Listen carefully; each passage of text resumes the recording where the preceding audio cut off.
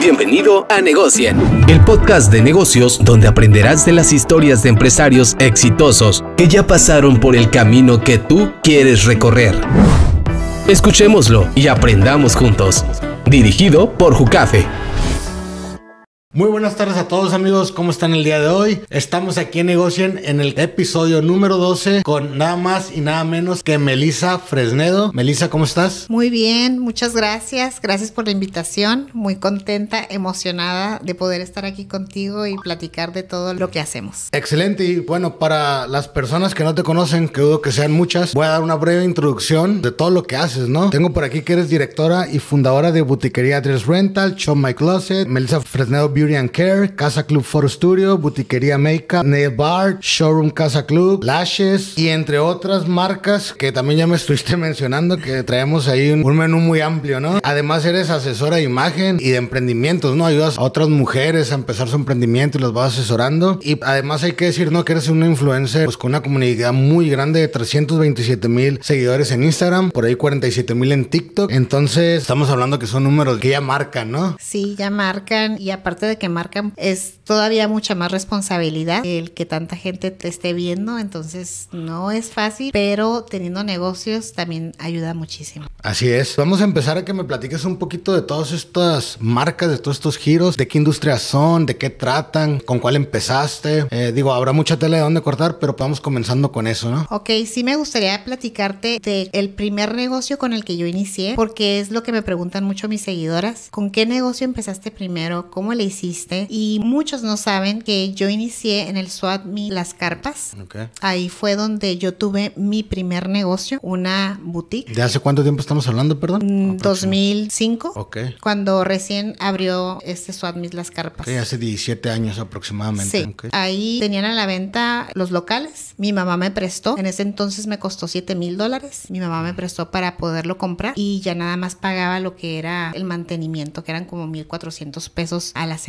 Entonces lo compramos. Mi mamá también tenía otros locales ahí y con la ayuda de ella yo compré el mío y ahí tuve mi primera boutique. Ok, y ahí empezaste. ¿Cuánto tiempo estuviste ahí? Ahí estuve exactamente un año, pero yo soy asistente dental y me dediqué a eso por 10 años. Órale. Entonces es otra cosa que también mis seguidoras a veces ni siquiera saben que yo soy asistente dental registrada. Me encanta también y de repente cuando el dentista con el que yo trabajaba, que estuve con él seis años trabajando, de repente me necesita y sí la pienso en ir y echarle la mano. Se me hace muy difícil ahora por todos los negocios que ya tengo y aparte mi bebé. Claro. Al mismo tiempo que eras asistente dental, ¿tenías también el negocio? Sí, cuando estaba como asistente dental, yo trabajaba de lunes a jueves, a veces algunos sábados y el SWATMI se abre de viernes a lunes. Entonces me funcionaba muy bien porque entre semana trabajaba como asistente dental y en fin de semana trabajaba en mi boutique. También tenía otra chica que me ayudaba para los lunes que yo no podía estar ahí, pero me iba súper bien. En un día yo vendía hasta mil dólares. Wow, porque esto es algo que he venido escuchando de repente porque muchas personas no tienen ni idea del dinero que se mueven todos los sobre ruedas, en este caso las carpas, ¿no? Que es una plaza que no es sobre ruedas, pero tampoco es como una plaza comercial muy grande, ¿no? Quizá para los que nos escuchen que no estén en Tijuana no lo tengan muy claro, pero realmente es que ahí está el dinero, ¿no? En el... Sí, aparte la renta es una mínima renta y permisos y tú sabes todo lo que uno tiene que solicitar para tener un negocio todo totalmente en regla, no es barato. Entonces, eso es otra muy buena opción para los emprendedores. Obviamente, si quieres crecer, abrir en otras áreas, en otras zonas, pero yo empecé ahí, ahí aprendí mucho. Yo vendí mi local, me junté y lo vendí. En ese entonces mi, mi pareja me dijo, ¿el trabajo o yo?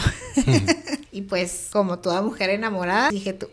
Claro, te quedaste con la pareja. Sí, cerré ese negocio, lo traspasé el local y seguí como asistente dental. Y así te mantuviste varios años. ¿Hasta cuándo fue, digamos, el primer negocio formal, ya que abriste con toda esta gama de marcas muy exitosas que tienes actualmente, ¿no? Hasta el 2015, Ok. que yo me separo después de estar en una relación por 11 años. Me separo y inicio con el primer negocio que es Boutiquería Dress Rental. Esta marca, la fundadora y creadora de esta marca es mi hermana, Farah Fresnedo. Fue idea de ella, ella lo inició y yo lo que hice fue unirme a su idea, a su marca y juntas abrimos otro negocio. Entonces pasó algo muy curioso porque ella me propone abrir otro negocio, ella tenía una, otro negocio de butiquería dress rental en otro lugar. Entonces yo estaba en duda de abrir ese negocio o no porque decía, bueno, yo no vivo en Tijuana, ¿cómo le voy a hacer? No voy a estar al pendiente. Bueno, el caso es que yo decido emprender con ella a los tres meses. ¿Dónde estabas viviendo tú, perdón? En Sinaloa. Ah, ok. Más o menos a los tres meses, cuatro meses, yo me separo y me vengo a Tijuana y el primer lugar que yo piso llegando a Tijuana es mi negocio. Ok. Ya había estado en Tijuana y te fuiste para allá mientras estuviste casada y luego te regresaste. Sí. Ok. Me separo, me regreso a Tijuana, triste, sin saber qué hacer. Planes eran otros. Mis planes era irme a Los Ángeles, a Nueva York, a seguir trabajando de lo que yo ya había estudiado. Pero el destino y Dios me tenía preparado otros planes que yo jamás imaginé. Obviamente siempre me ha gustado todo esto del mundo de la belleza y la moda, siempre desde chiquita, pero yo sí estaba muy contenta como asistente dental porque si me preguntas qué es lo que te gusta más, no te sabría decir. Me encanta. O sea, yo veo a las personas y lo primero que les veo son los dientes. Porque a eso me dediqué Claro. por tantos años y también lo disfrutaba mucho. Ese emprendimiento que dijiste, tu hermana fue la creadora. ¿Actualmente estás con ella ahí o no? Ella ya no se dedica a esto, ella es criminóloga, entonces ella ya no le llamaba tanto la atención en sí, la moda, la belleza y yo me quedé entonces. O sea, tú llegaste con ella, le empezaste a ayudar, le gustó y al final del día le, que yo me encargo y vámonos para arriba. Sí, fue en pandemia que ella decidió ya no seguir porque pues, obviamente todos los negocios estaban cerrando y ella sí decidió cerrar, yo decidí quedarme. En ese entonces cuando se viene la pandemia yo estudiaba mucho, leía mucho y escuché a un conferencista decir el 73% de los negocios en pandemia van a cerrar. Perdón, el 97%. El 97% de los negocios van a cerrar, van a quebrar. Pero ese 3% que sobreviva van a ser negocios muy exitosos. Y yo dije, yo voy a ser de ese 3%. Y eso me lleva a una pregunta muy clara. ¿Cómo sobreviviste cuando tú vives de eventos? O sea, ese negocio era de renta de vestidos para eventos. ¿Cómo sobrevives a la pandemia cuando no hay eventos? ¿no? Ahí es cuando me tuve que poner muy creativa de tener más de 20 empleados y a esos empleados Para entonces ya tenías 20 empleados en esa marca. Sí. Ok, entonces Sí. estamos O sea, hablando de un negocio grande y un compromiso Sí, grande. Un compromiso grande, una renta muy alta que tú sabes no te perdona nada y comprendo totalmente eso. Entonces lo que yo hice es ponerme muy creativa y decir, a ver, ¿cómo voy a sacar este negocio adelante? Yo acababa de invertir en ese negocio, le invertí 80 mil dólares, me amplié, hice muchos cambios. Justo en febrero yo ya tenía listo toda esa inversión y se viene la pandemia. Entonces yo no tenía opción de cerrar. Ya había hecho toda mi inversión, mis ahorros ya se habían ido ahí. Dije, yo no tengo opción. ¿Y cómo fue que, Que que sobrevivimos. sobreviviste, no? Me puse creativa, saqué mi marca de gel antibacterial. En ese entonces se estaba vendiendo mucho el gel antibacterial. Le puse mi marca, mi nombre. Perdón, para ese entonces ya eras Melissa Fresnedo de la marca personal que conocemos ahora. Sí, ya era Melissa Fresnedo. No confiaba yo tanto en lo que es mi nombre como marca. Pero ya tenías tu comunidad. y Sí, todo. sí. Entonces, de amistades muy cercanas me decían, ponle tu nombre, Melissa, ponle tu nombre, tu nombre es el que pesa. Y bueno, ahí fue cuando me fui animando. Y también los cubrebocas. Ya todo el mundo teníamos que usar el cubrebocas. Entonces yo decía, bueno, un cubrebocas que pueda combinar como asesora de imagen, decía, pueda combinar con cada uno de nuestros outfits, de nuestros atuendos. Y yo saqué una foto de Pinterest. Por eso siempre les digo, las ideas ahí están. Todo lo tenemos gratis en internet. Todo es gratis. El que no quiere, ya es porque no quiere, pero todo ahí está gratis. Entonces yo saqué una foto y se la enseñé a mi costurera y le dije, ¿me puede hacer este cubrebocas? Y me dijo, sí, ok, me lo hizo. Y empecé a comprar telas de diferentes colores, estampados y le empecé a agregar accesorios. Entonces yo vendía un cubrebocas que nadie vendía y mandé a hacer mis etiquetas a Guadalajara, tenían mi etiquetita. Tenía una persona que me ayudaba a contestar los mensajes de los cubrebocas. A ella le dolían los dedos de tantos mensajes. Y gracias a esa idea que se me ocurrió, también pude pagar rentas, pude pagar sueldos, seguro y todo lo que sabemos que, que nunca paró. Entonces, de esa idea, financiaste que no muriera el otro negocio al que ya habías hecho una gran inversión, ¿no? Así es. De esa idea también vendí chocolates, Siscan. Me los vendían a mí baratos. Yo le vendía a esta persona que me los vendía como 8 mil dólares de puros chocolates. Yo les decía a mi equipo de trabajo, ¿quién quiere vender chocolates? Les voy a dar tanto, 5 dólares por caja que me vendan. Entonces, así es como todos pudimos sobrevivir. También me hice de mi estudio de fotografía para que pudieran tomarse sus fotos bonitas para sus redes sociales y yo me llevaba mi equipo, ¿no? La maquillista, la estilista, me uní con un fotógrafo y hacíamos sesiones de fotos en la calle. Fíjate, eh, bueno, qué interesante todo eso que me estás platicando. Nunca pensaste en el, ah, pues ya está la pandemia, ya valimos, ¿no? Siempre estabas pensando en qué crear, cómo salvar el barco para que no se hundiera, ¿no? Es una gran moraleja, ¿no? Porque muchas personas se rinden a la primera, ¿no? Muchos negocios, o sea, muchos, muchísimos cerraron. Obviamente no sabíamos cuánto iba a durar, no había una fecha. Entonces, los que sobrevivimos tuvimos que ponernos creativos. También empecé a dar mis asesorías. Yo como asesora de imagen empecé a dar mis asesorías en línea. Mi diseñador, Andrés Marcas, que siempre ha estado ahí apoyándome, Andrés Martínez, me hizo mis flyers y empecé a hacer publicidad en mis redes sociales para asesorar a otras mujeres a vestir mejor, a verse mejor, a a darles seguridad más que nada. Entonces, en mi oficina de ahí de mi negocio, ahí mismo les daba las, las asesorías en línea y obviamente cobraba por eso. Cuando antes jamás me imaginaba yo dar una asesoría de imagen en línea. Y una vez mi contadora me... Cuando yo estudié lo de asesoría de imagen, yo le platiqué a ella, le dije, nada más lo voy a estudiar por mis negocios, ¿no? Porque quiero que cuando la clienta se vaya, se vaya segura del vestido que se está llevando. Que lleva algo profesional, ¿no? Sí, dependiendo a su tipo de cuerpo, su tipo de rostro, eh, su color de piel. Entonces, para eso lo quiero estudiar. Y me dijo, pues nunca sabes porque a lo mejor algún día puedes vivir de eso. Y le dije, no, no creo. Pues sucedió. En pandemia, eso también me ayudó muchísimo para poder salir adelante. Después empecé también a dar asesorías en línea de negocios a otras mujeres. Okay. Ahorita que platicas todo esto y también lo que platicábamos antes de iniciar el podcast, estamos hablando que alrededor han sido de 12 marcas, ¿no? Más o menos. Mi pregunta va encaminada, ¿cómo le haces para que 12 marcas tengan éxito y puedas dividirte, delegas las responsabilidades para que puedan sobrevivir con el éxito que tienen? Pues hasta ahora, ¿no? Entonces suena algo complicado y si le dices a cualquiera, dices, oye, pues si la mayoría de la gente no podemos con un negocio, ¿cómo tienes 12, no? Primeramente te tiene que apasionar mucho lo que haces. Si no te apasiona, no va a funcionar. No lo ves como trabajo. No lo veo como trabajo. Yo no hago nada que no disfrute. Todo, todo, todo lo disfruto muchísimo. Si es algo que no me gusta, mejor lo dejo. Porque para que tú puedas tener éxito, primeramente te tiene que apasionar lo que haces. Claro, no es sostenible, ¿no? No.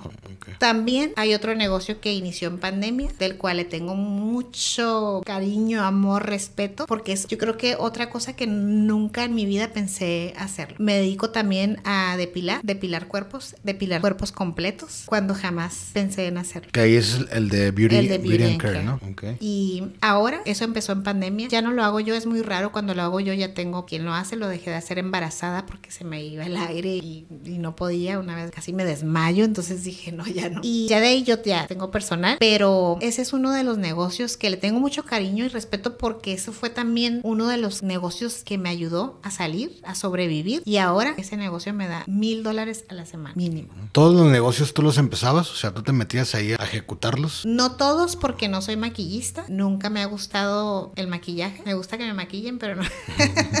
Claro. Eso es, yo creo que es lo único que te puedo decir que no sé hacer, no sé maquillar, porque no, no, no es algo que me llama la atención. Pero todos los demás, sí, hasta uñas. Te has metido a la operación desde el inicio. ¿Cuántos colaboradores tienes actualmente entre todas? Pues en tu empresa, ¿no? Que incluye esas 12 marcas. Como 22. 22. 23, más o menos. ¿Y cómo es el proceso ese? No sé, tú empiezas, digamos, a ir buscando el caminito y luego ya lo vas delegando, a, o sea, contratas personal para que lo haga o cómo es eso? Mira, yo funciono de esta manera. Yo siempre les digo, cuando tengas un proyecto, cuando tengas una idea, no se lo platiques a nadie. Yo lo único que hago es contactar a mi diseñador y le digo, mira, quiero hacer esto, ayúdame a buscar un logo, hacer un logo, nombre, marca, porque voy a iniciar con este proyecto. Y él es la primera persona que sabe. Ya de ahí ya se lo platico a otra gente. Pero cuando tú le platicas a otras personas lo que tú quieres hacer, siempre va a haber alguien que te va a decir, ay, de eso ya hay mucho, ¿y para qué? Y ay, ni, ni vas a vender. Entonces, esos tipos de comentarios sí te desaniman. Y es por eso que mucha gente no logra cumplir esos propósitos, esas metas, esos sueños, porque hay gente alrededor de ti que hace que te desanimes. Bueno, ese es un gran consejo, ¿no? Porque eso es algo muy real. Muchas veces, porque incluso hasta la misma familia y todo, que quizá lo hacen para proteger. Principalmente sí, la misma familia. Sí, ¿eh? totalmente. Sí. Y tus amistades que más cercanas que Ah, quieres claro. no te echan porras. Sí, Al y- contrario.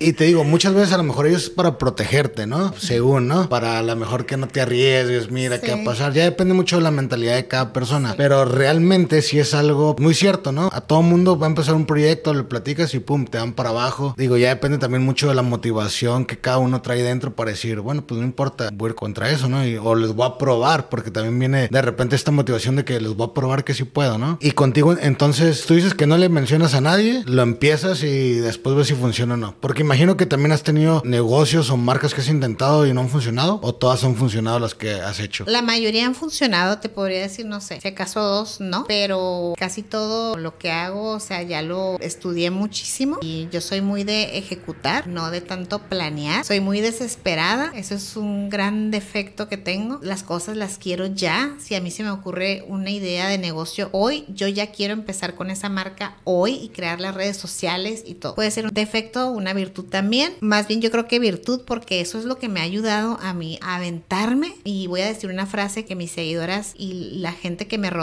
siempre la recuerdan o la escuchan y se acuerdan de Melissa Fresnedo. Hazlo, si te da miedo, hazlo con miedo. Entonces es mi frase porque siempre, aunque piensan, ay, Melissa es bien aventada y no le da miedo nada, claro que me da miedo. Al final de cuentas es inversión, ¿no? Claro. Y dejar de comprarte cosas también para poder invertir en ese proyecto, en ese negocio. Háblame de esos sacrificios, porque uno pensaría, a lo mejor alguien que nos está viendo, ¿qué cosas hay que dejar? ¿Es necesario realmente hacer esos sacrificios? ¿O existe la posibilidad en tu experiencia, cómo fue, de hacerlo a lo mejor sin sacrificarte? ¿De qué depende? ¿O cómo fue eso? Sí, hay muchos sacrificios. De hecho, lo mencioné creo que ayer. Cuando tienes sueños, cuando tienes alguna meta, no hay días de descanso. Tengo ya desde que empezó pandemia que no me he tomado un viaje porque no se ha podido, porque no me he podido recuperar. O sea, hace 3, 4 años estamos hablando. Antes de eso, yo ya te recorrí, me dicen mucho, Melissa, pero ¿por qué no viajas? Yo te conozco Europa, yo te conozco Israel, yo te conozco la India. O sea, mis viajes son ese tipo de viajes. Entonces digo, para ir aquí cerca, ay, pues mejor me quedo en mi casa. Entonces, sí me gusta darme como ese tipo de regalo, porque es un regalo para mí, pero toma en cuenta, a ver, Melissa, ¿qué es lo que quieres hacer? ¿Quieres hacer este negocio? ¿Que te quieres comprar esto? Entonces, no se puede. Y ese es el gran error, yo pienso, de muchas personas que sí quieren iniciar algún proyecto, pero ¿cómo ponen como prioridad algún viaje o algo de lujo antes que hay que sacrificar? Claro, y no se puede porque tú estás guardando a lo mejor ese guardadito por si hay una emergencia o porque ya estás pensando en tu próxima inversión o porque ya tienes un presupuesto para hacer eso o simplemente por el tiempo? Siempre tenemos que tener ese guardadito. Los que tenemos negocios, siempre, porque uno nunca sabe. Y ahora con la pandemia yo quedé muy traumada. Uno no sabe qué va a pasar mañana. Entonces ese guardadito siempre debe de estar. Aparte también uno nunca deja de invertirle a sus negocios. Jamás. Por ejemplo, tú aquí ahorita lo acabas de decir, ah, ya quiero poner ahora esto, ya quiero... Entonces, si te apasiona lo que haces, solamente vas a pensar en invertirle a tu negocio. Claro, en qué puedes mejorarlo, ¿no? Así es por ejemplo, a veces que veo una bolsa, por ejemplo, las mujeres pues somos muy de bolsas, zapatos, y quiero comprármela, pero pienso, a ver, ¿qué tengo que comprar o qué tengo que pagar?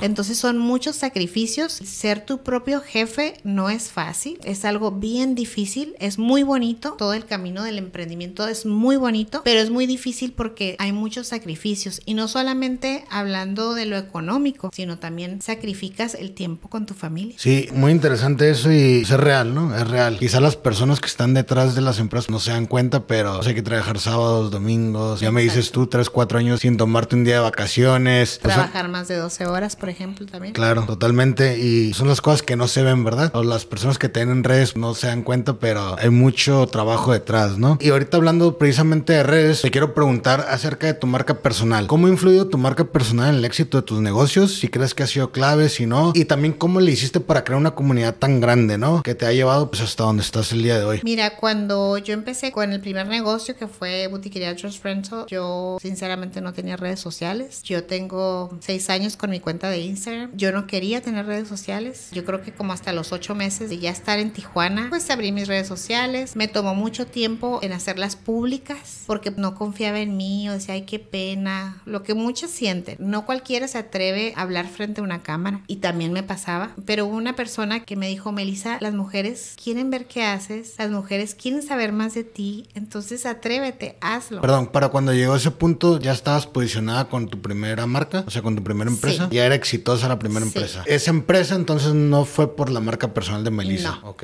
No fue por la marca personal de Melissa, pero fue gracias al esfuerzo y trabajo duro de Melissa. Claro, totalmente. Hablando no de Melissa, la marca personal de la Exacto. sí, no, Melissa pues la real, ¿no? Ok, Melissa, entonces ya teniendo todo eso, bueno, este primer emprendimiento, ¿tú qué crees que fue lo que catapultó para que tuviera éxito? Porque bueno, después de este vinieron más, ¿no? Pero alguna habilidad que tú creas como yo soy muy buena para esto y que me ha funcionado, ¿no? Porque no creo que sea casualidad tener tantos negocios, ¿no? Con éxito. Y más, que era algo que yo desconocía, yo imaginaba que todo estaba ligado a tu marca personal, pero ya me aclaraste que ya tuvieras éxito en tu primera empresa, en tu primer negocio, sin necesidad de tener la comunidad que tienes ahora, ¿no? Sí, mira, como lo mencioné, es bien importante dedicarte a lo que realmente te apasione. Si tú te dedicas a lo que te apasiona, es éxito seguro. ¿Por qué? Porque no lo vas a ver como un trabajo, lo vas a disfrutar y tus clientes lo sienten, tus clientes lo notan. Entonces, cuando inicié con este proyecto en conjunto con mi hermana, yo trabajaba de 8 a 10 de la noche y yo quería, mi plan era poner espectaculares por todo Tijuana, en el Boulevard Aguacaliente, yo quiero poner uno aquí, yo quiero que aquí esté butiquería, donde la gente voltee que esté butiquería. Entonces lo que yo hice fue que me empecé a meter a los eventos, en ese entonces Nuestra Belleza, empecé a hacer ese tipo de colaboraciones con René Tamayo, que fue quien nos apoyó muchísimo al inicio, éramos vecinos, estábamos en la misma calle en la recta. Entonces empecé con todos estos eventos, evento que hubiera, ahí estaba la marca. Patrocinando tú, colaborando. Exacto, siempre patrocinando, muchas veces, muchas veces pagamos para poder estar en algún evento o que el nombre estuviera, el nombre de Boutiquería Dress Rental, no Melissa Fresnedo, no Fara Fresnedo, sino nada más Boutiquería Dress Rental. Y gracias a eso, que yo no me rendí y yo le trabajé muchísimo para que esa marca sonara, esa marca se posicionó en seis meses. ¿Y cómo fue el impacto de ese posicionamiento? Porque incluso muchas personas dicen, oye, pues no quiero invertir en esto, en un evento, porque no sé cómo voy a tener mi retorno de inversión. ¿En cuánto tiempo lo viste tú reflejado? A partir de que hacías inversiones y la gente llamaba, llegaba al local o simplemente ya reconocía el nombre de la marca o cómo... A los cuatro meses, muy rápido. Ok.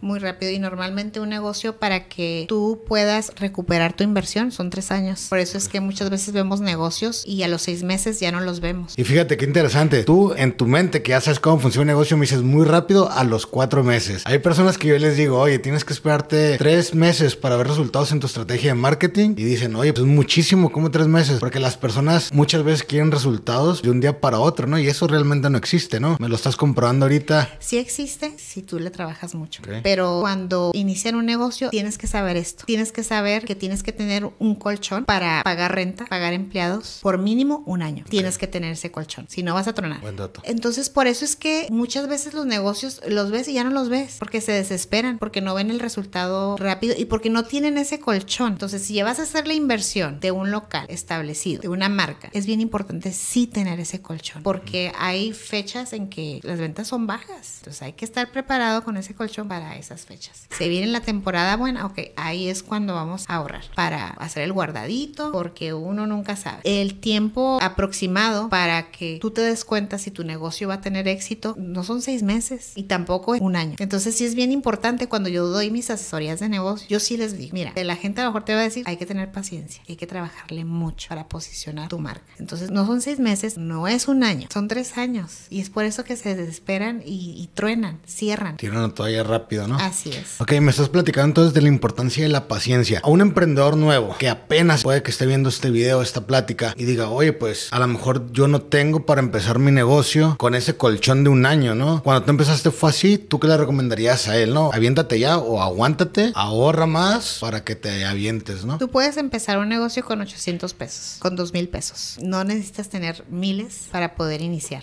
Ok, ese colchón lo vas adquiriendo ya sobre... Así es, así es. Cuando a mí me dicen, no, es que no tengo dinero y quiero hacer eso y no tengo, son pretextos.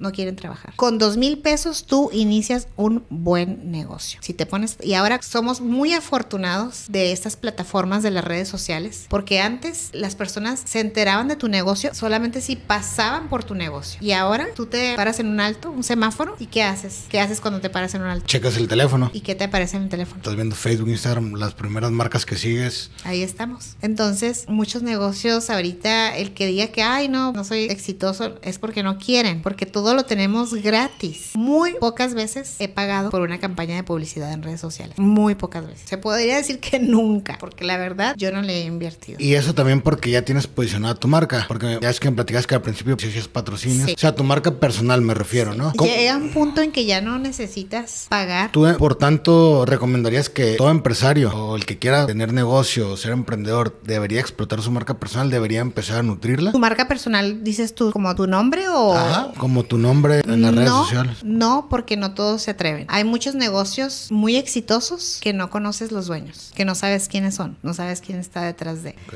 Entonces, no necesariamente. Pero sí te facilita el trabajo si lo hicieras. Sí te facilita, porque las personas somos muy chismosos y todos queremos saber quién está detrás de ese negocio tan exitoso, qué hace, cómo le hizo, porque es interesante, todos queremos aprender. Entonces sí te facilita y el consejo que yo les doy, si puedes, hazlo. Sal tú en la cámara y preséntate, así tengas 50 seguidores, diles, mi nombre es tal y yo soy la creadora, fundadora, fundador de esta marca y emprendí, o sea, contar tu historia, porque eso es lo que la gente quiere saber. Obviamente, la verdad, la mayoría no quiere. No, ¿cómo voy a salir? Me da pena. No, no, no, a mí no se me da eso. Yo no soy para eso y yo no nací para eso. Yo jamás me imaginé estar hablando enfrente de una cámara tampoco. Claro. Y como tú dices, al final del día le, vas perdiendo el miedo, pero ¿qué cosa nueva la haces sin miedo? Realmente todo, emprender, hablar, caminar, correr, todo lo que es nuevo, pues empiezas con miedo, pero la segunda vez ya va a ser menos, la tercera menos. E incluso también otras personas como tú que han dado conferencias que han estado aquí, como el cabrón de las ventas, él decía, al día de hoy yo todavía estoy nervioso, ¿no? Cuando ya he hecho bastantes conferencias y eso, muchas personas también del espectáculo que se dedican a eso lo dicen, ¿no? Entonces, pues al final,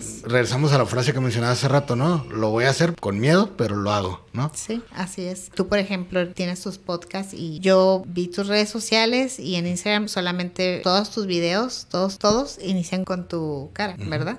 Así es. Pero, ¿hablas tú realmente en tus historias? Mm, en las historias no, no mucho. De repente sí, pero debería estar más activo. No lo hago por falta de tiempo, pero, pero sí. Pero no lo haces seguido, que tú agarres la cámara y en historias, ay, mira, Sí. voy a hacer esto. Porque no cualquiera. Claro. Pero en sí es algo que a lo mejor ya en tu perfil yo veo solamente tu imagen porque así inicias tus videos, pero ya es algo que ya tienes a un equipo y que lo está editando. Claro. Pero en sí la gente quiere ver la historia, por eso son las historias. Sí, claro. O sea, más autenticidad. Sí, ok. y las historias son gratis, no nos cobran por subir historias. Entonces, por ejemplo, en mis negocios, tú entras a cualquier cuenta o página de mis negocios y siempre va a estar esa ruedita de que hay una historia. ¿Cuánto tiempo le dedicas a eso? Antes lo hacía yo sola, ahora yo solamente manejo mi cuenta personal. Obviamente en mis cuentas están pues todas, ¿verdad? Entonces todo el día yo estoy revisando, pero yo ya no respondo y yo ya no publico. Yo ya tengo a mi equipo. Pero las historias, pues las haces tú, ¿no? Porque. pues, Las de mi ah, cuenta personal nada más. Ah, ok. Las de mi cuenta. Ya de las demás, reels, videos, fotografías, ya se encarga mi equipo de trabajo. Antes hacía yo todo solita. Ok, ¿eso tienes un equipo in-house? Sí. O sea, dentro de, Sí. dentro de tu empresa o una agencia externa o No, cómo? dentro de mi empresa.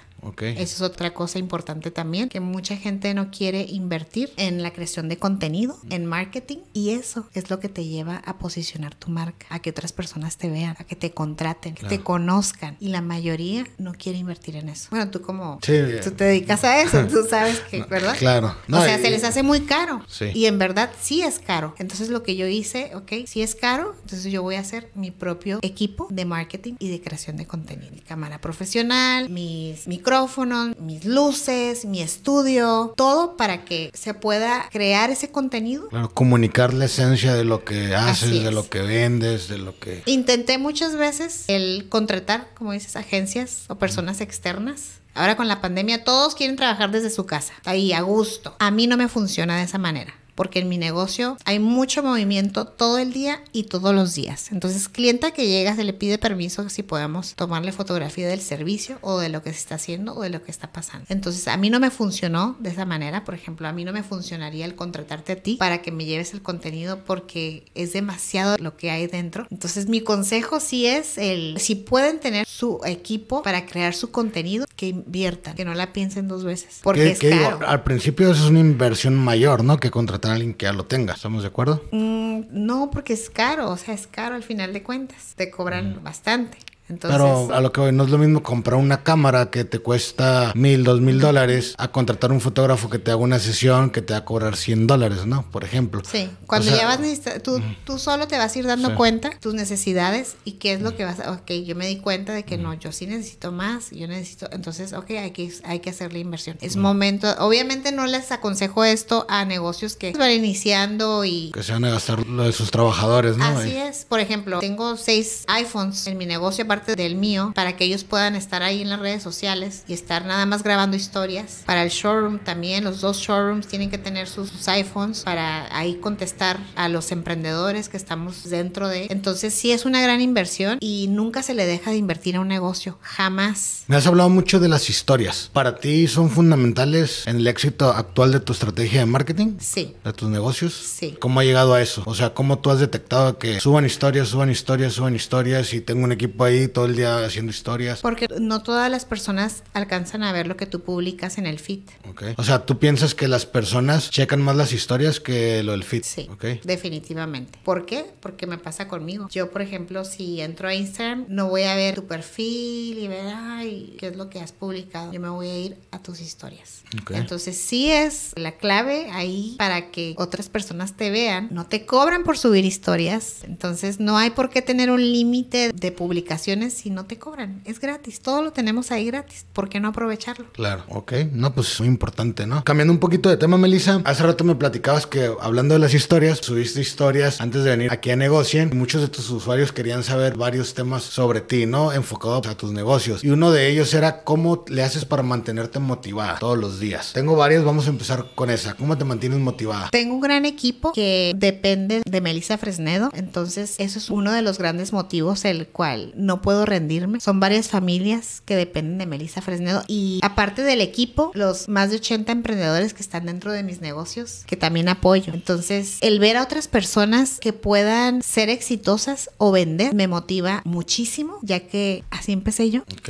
entonces te motiva, digamos, esa responsabilidad porque si tú no lo haces bien, hay 80 o 100 personas afectadas abajo de ti, ¿no? Así es. Con tu responsabilidad. Así es, tengo una gran responsabilidad. También tengo a mi niño, que es la personita que me motiva y como mamá soltera, imagínate. Claro. Entonces, si antes trabajaba mucho, ahora trabajo el triple. Otra de las dudas que tenían por ahí en tu comunidad es cómo perder el miedo. Y ya lo hemos comentado en varias partes de este episodio, pero ¿cómo le haces tú? ¿Cómo le hiciste al principio para aventarte? No sé si poniendo el ejemplo ese que ya habíamos hablado de las historias, ¿cómo le haces para perder ese miedo a la cámara al principio? Y hablando en general, ¿eh? no solamente de historias, a lo mejor para empezar un negocio, para animarte de lo que sigue, ¿no? El miedo nunca se pierde, siempre está el miedo. Yo creo que si no existiera ese miedo, no existiera como esa, ese entusiasmo, esa adrenalina Ok, Es, es que a como- todos nos gusta. es lo que lo hace interesante. Exacto. Entonces nunca pierdo el miedo. He dado muchas conferencias y cada que yo voy a subir a una plataforma, a algún escenario, existe ese mismo nerviosismo y miedo a equivocarme. Entonces, así como muchas personas tienen ese miedo para emprender, para dar ese paso, yo creo que no existe una persona en el mundo que diga, ay, yo no tengo miedo al hacer esto. Todos, todos la pensamos, todos sentimos el, ¿y, si, ¿y qué tal si no? ¿Y si fallo? Muy bien, otra de las preguntas que nos hacían es, ¿cómo le haces para hacer tus reinversiones? O sea, ¿cómo sabes cuánto presupuesto tienes que hacer en tu próximo proyecto? ¿Qué porcentaje haciendo haces tu presupuesto? ¿Cómo manejas todo esto de tu inversión? Es que es dependiendo el negocio que yo tenga en mente, es dependiendo cómo va fluyendo. Hay veces que planeo algún negocio y simplemente después digo, no, no, no se va a dar, no se va a poder o no va a funcionar. Entonces no existe como un manual para eso. Tú lo vas viendo conforme vas avanzando en tus negocios.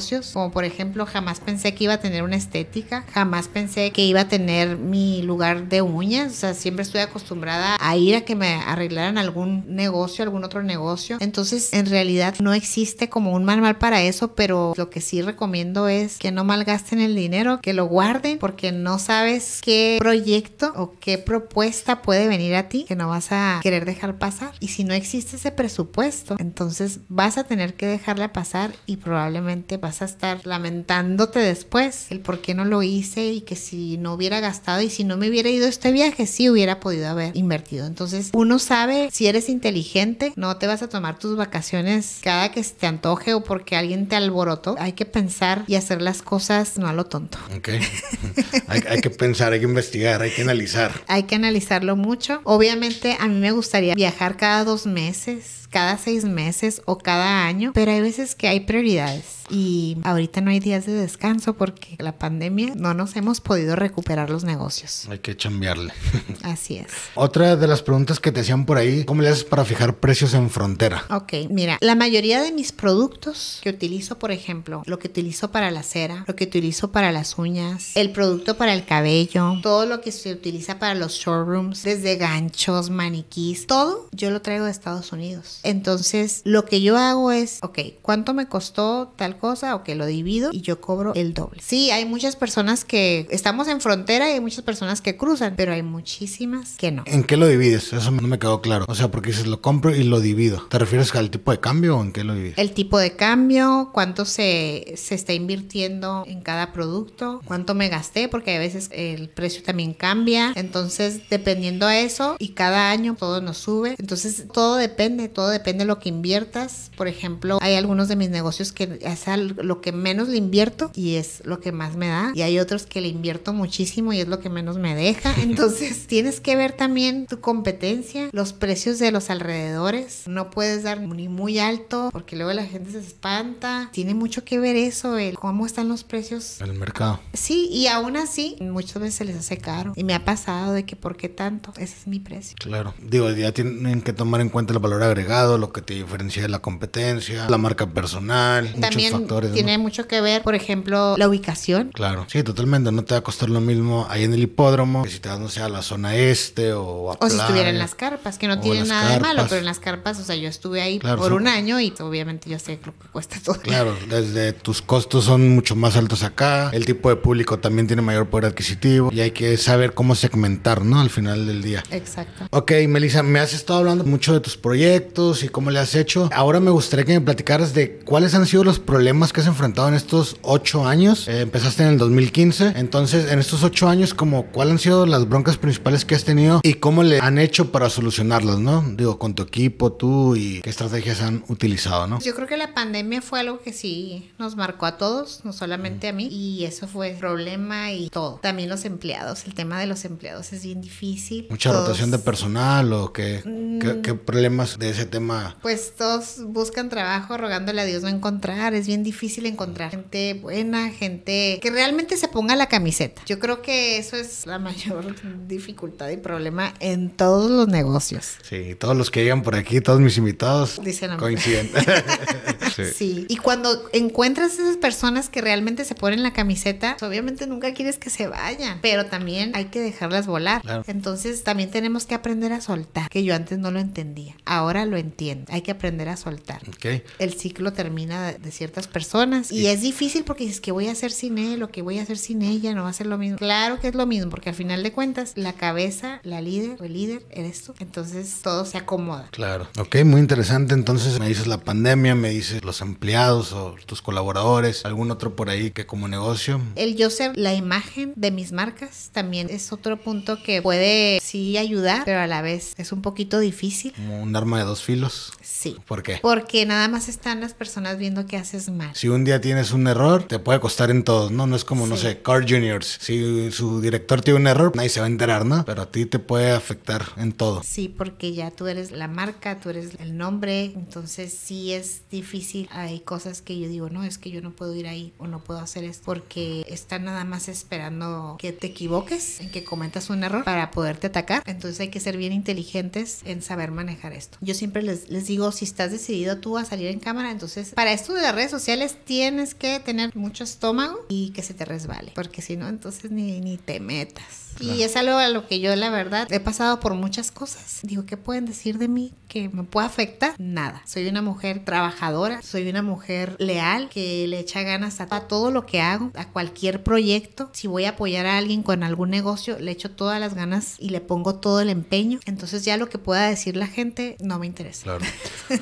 No, muy importante, ¿no? Todo el tema, digamos, psicológico de quien está en la cabeza, ¿no? De cómo manejar las emociones y todo esto, ¿no? De hecho, por aquí estuvo también la psicóloga Aurora hace algunos capítulos y también platicábamos de la importancia de todo esto, ¿no? Ella también como empresaria y psicóloga. Regresando al tema, ¿qué le dirías tú a la Melissa Fresnedo de hace, vamos a decir, de cuando tenías veintitantos años, antes de meterte a todo este rollo de los emprendimientos, con la sabiduría que tienes ahora en los negocios, ¿no? ¿Qué le dirías en ese momento como para que no cometa quizá los mismos errores dentro de todos tus negocios, tanto como marca personal como la marca de cada una de tus empresas, para que a lo mejor pudieras, no sé, acortar esa línea o qué hubieras hecho diferente tú con tu experiencia actual? Pues le diría que muchas felicidades, que lo está haciendo bien, pero que si hubiera podido yo iniciar hace 20 años con todo esto, ¿dónde estaría ahorita? Ok. Estuviera en muchas partes del mundo. Empecé tarde, pero nunca es tarde y aquí está la prueba. Yo empecé con estos negocios a los 36 años, pero si yo hubiera iniciado como hace 20 años, obviamente, ¿dónde estaría ahorita, no? Nueva York. Claro. No, y quizá, y quizá toda esa experiencia que adquiriste de los 20 a los 36 que empezaste no hubiera sido igual, ¿no? Ese proceso, es. ¿no? Lo único que sí es algo que sí me reprocho y también no es tarde. Mucha gente no sabe que Melissa Fresnedo no tiene una carrera. Ok. ¿Te hubiera gustado haber estudiado? Me hubiera gustado y es algo que quiero, por ejemplo, estudiar comunicación, por lo menos. Si hubiera sabido que iba a estar aquí sentada contigo en una entrevista, eso me ayudaría muchísimo. Si yo hubiera sabido que iba a hablar frente a una cámara todos los días y todo el día, igual me hubiera ayudado, me ayudaría mucho más. Claro. Entonces, eso sí le diría a la Melissa de hace 20 años, estudia y prepárate, porque no sabes qué te puede venir. Claro, ok, no, mu- muy importante ese consejo. Y no sé, algún consejo más ya para finalizar que le quieras dar a esos emprendedores que van a estar viendo este episodio contigo y que les pueda ayudar, ¿no? A iniciar. O los que ya iniciaron, pues un consejo que les pudieras dar. Que nada ni nadie los detenga a cumplir sus metas y sus sueños, que todo es posible, que no se dejen intimidar ni se dejen llevar por lo que las personas digan, que al final si pierdes va a ser tu bolsillo, no el de tu amiga o el de tu familia, que se atrevan, que hagan ese miedo a un lado porque no sabes lo que puede pasar, que se dediquen a lo que les apasiona, no porque ves que a tal persona le va bien en su negocio, vas a hacerlo tú, si no te apasiona, mejor toma ese dinero y ponlo en un bote de basura. El tiempo es tan valioso y se va, se va en un abrir y cerrar de ojos. Entonces atrévanse, atrévanse, cumplan, cumplan todos los sueños, todas las metas, todo lo que quieran hacer, porque nunca sabes hasta dónde puedes llegar. Claro. Muy buen consejo, Melissa. Y ya por último, como asesora de imagen, un consejito también, aprovechando tu expertise en el tema, muy general. Esto de la asesoría de imagen es algo que todos los días lo veo. No a todas las mujeres les gusta arreglarse porque Y a los hombres.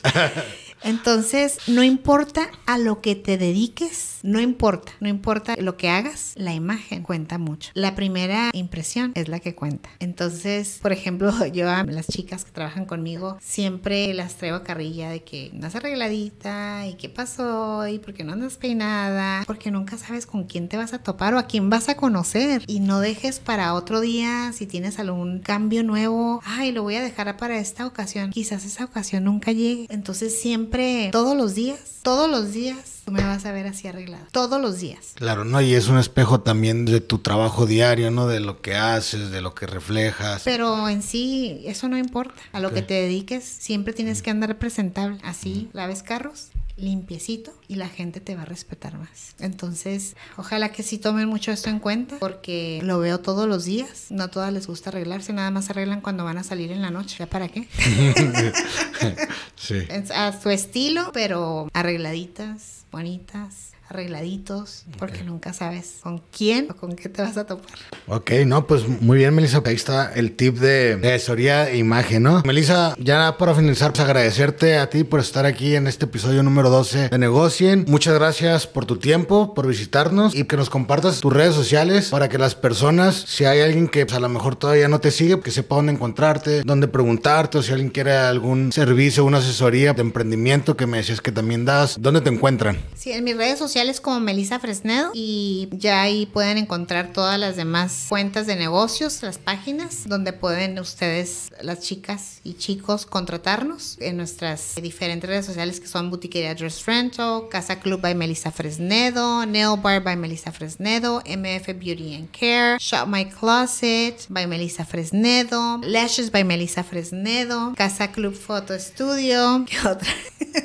¿Qué otra tengo? El nail Pero en la mía principal, ahí ustedes van a encontrar todo lo que hace Melissa. Todos los días comparto algo de, de mis negocios, promociones, todos los días yo les comparto. Entonces ahí es donde ustedes van a encontrar todo lo que hago y lo que hacemos junto con mi equipo de trabajo. Claro, muchísimas marcas, ¿no? Que hasta para guardarlas en la memoria es complicado, ¿no?